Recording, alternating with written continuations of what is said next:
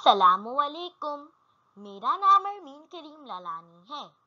अलविदाई तकरीब, नज़म। इस सबक को पढ़ने के बाद तलबा इस काबिल हो जाएँगे कि इबारत नस्म नसर पढ़कर इसमें मौजूद मालूम और तस्वीरात को अक्स कर सकें। शेर या नज़म पढ़कर इसका मफहूम लिख सकें।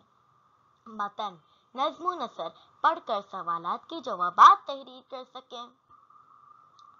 ये तस्वीर उर्दू अमली किताब, दूसरी चश्माई, अलविदाई तकरीब, सफ़ा नंबर 34 की है। और इसी तस्वीर को हम आज भरेंगे। आइए, पहले हम इसकी नज़म पढ़ते हैं।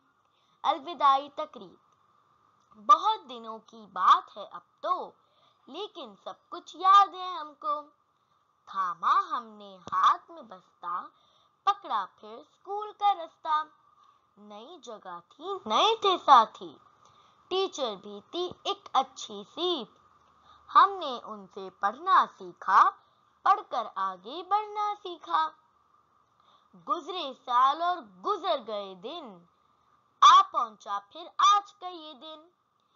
बिछड़े साथी याद रहेंगे, दिल में सदा आबाद रहेंगे।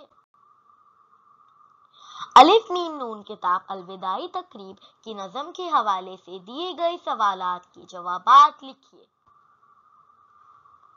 सवाल नंबर एक दर्द झेल शेर में शायर ने किन दिनों के बारे में बात की है? बहुत दिनों की बात है अब तो लेकिन सब कुछ याद है हमको। हम्म सोचिए सोचिए, किन दिनों की बात की है? इस शेर में शायर उन दिनों की बात कर रहे हैं जो मेहनत के साल, उम्मीदियों के साल के बाद आए हैं। ये दिन अपने साथियों को अलविदा करने का होता है, यानी अलविदा कहने का। सवाल नंबर दो। इस नज्म के मुताबिक पहुँचा फिर आज का ये दिन में आज के दिन की क्या अहमियत है? सोचिए सोचिए।